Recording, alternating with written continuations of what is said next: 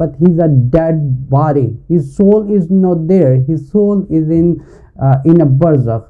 So wallahu alam how does the barzakh look like? Wallahu alam how does the the barzakh look like?